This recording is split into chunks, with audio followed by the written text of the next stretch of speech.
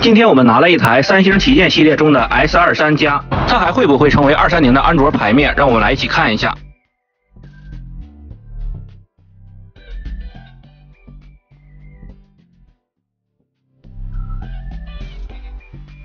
Hello，大家好，我是天夫，关注我，为你的爱机保驾护航。这是一台国行的三星 S 二三 Plus，十二加二百五十六 G 内存的。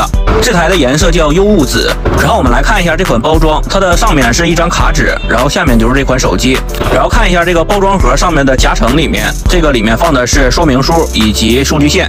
三星从上一代开始就不送充电头了，也是跟苹果一样，说是环保。然后我们可以来看一下这款机器，可以算是 S 二三系列中的大杯旗舰。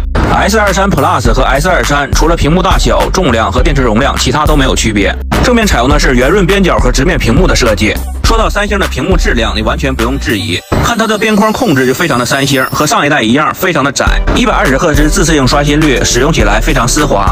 一千二百尼特的激发亮度，即使在强光下的显示依旧很稳，而且三星的色彩也算妥妥的第一梯队。正所谓肥水不流外人田，三星永远把最好的屏幕留给自己。三星 S 二三加的边框采用的是铝合金的材质，仅有七点六毫米，背板是一块哑光玻璃，磨砂的背板触感非常的细腻。后置主传三个小圆圈的镜头设计非常的简约，整体看起来比较小巧，很精致的感觉。六点六英寸的大小，整体和十三 Pro Max 相当。握持手感，个人感觉要比十三 Pro Max。更好一些。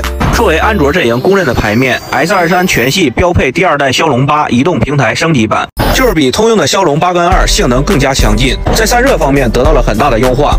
然后是镜头方面，虽然没有像 S 二三 Ultra 那样强悍的两亿像素，后置五千万像素也完全够用，也最实用。